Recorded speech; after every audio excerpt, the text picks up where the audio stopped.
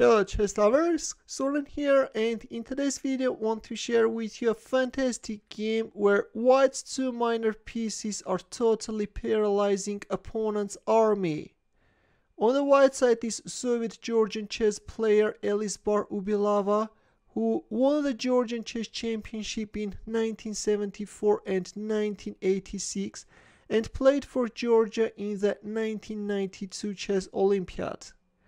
Ubilava's opponent is Soviet-Russian chess player Gennady Timoshenko, who was awarded the International Master title in 1976 and the Grandmaster title in 1980. Meanwhile, this is year 1974, we are in USSR and Ubilava opened up with e4. Timoshenko's answer was c5, Sicilian defenses on the board, against which white is choosing the Nyezhmetdinov Rossolimo attack. e6 white castled kingside, knight g7, knight c3. Other popular alternative is rook e1 with the idea of meeting a6 with bishop f1.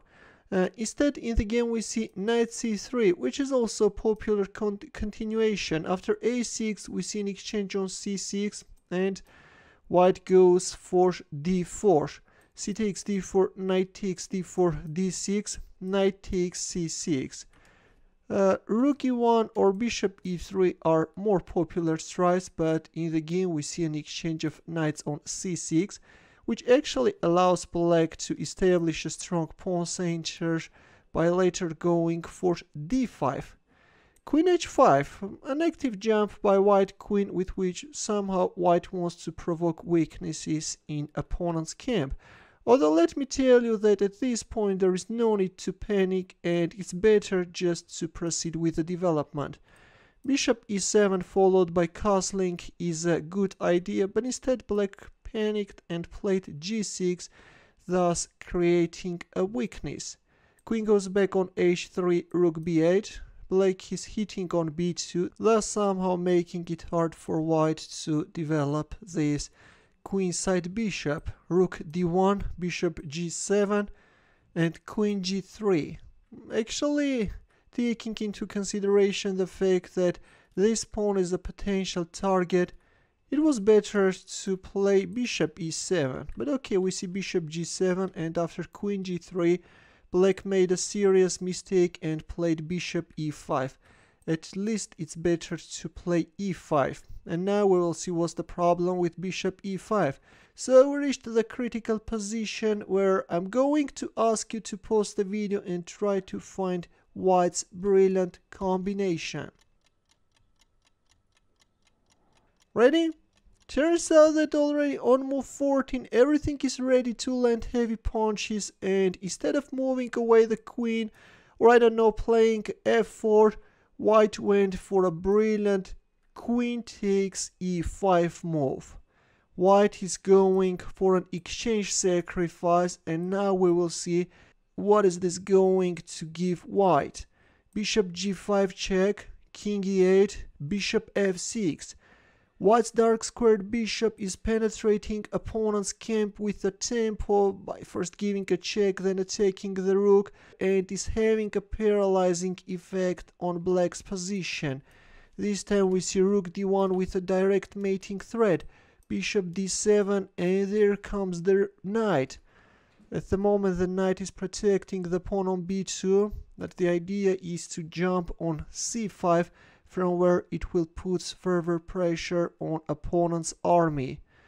Uh, rook b4, well in case of uh, rook b5 just play c4 this rook can't stop you from intruding inside opponent's camp if here then just knight c5.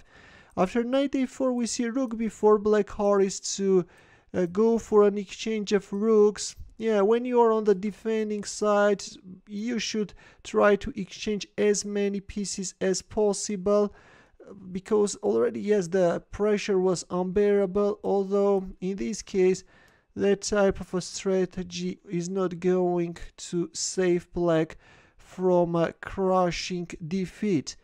h4. Well, let me tell you that instead of stopping g5, you can even just win the pawn on a6. If here the knight c5, and if here then e5 cementing the position. In the game we see h4 which is also a decent continuation but is allowing black to prolong the resistance. Somehow black is activating the light squared bishop but the d7 square is successfully under control as well as the d8 square and there is no way to activate the king and the rook.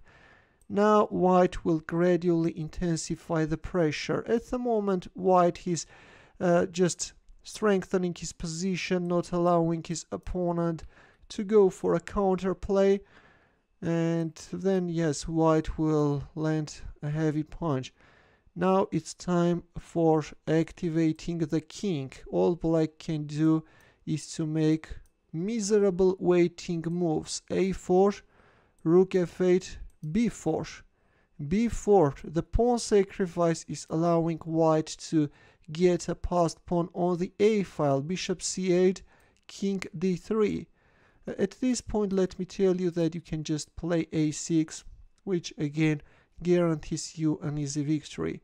In this case, of course, Black is finding time for uh, activating his rook, but soon black pawns are starting to drop one after another, and this position is hopeless for black. Seems like that the pawn on b4 is going to fall victim as well. King d3, king c4 can follow, right? Uh, instead, in the game, we see king d3, yeah.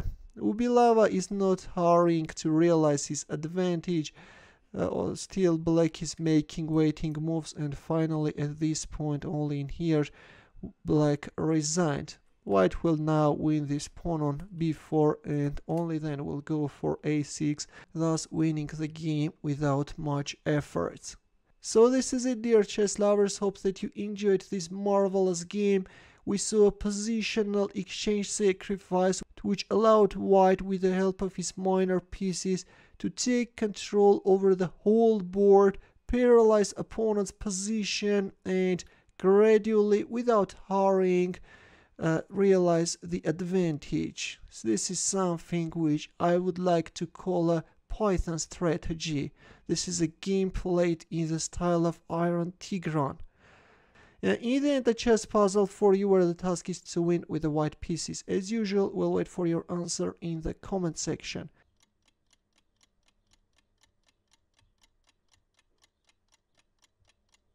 Thanks for watching. We'll see you in my next video.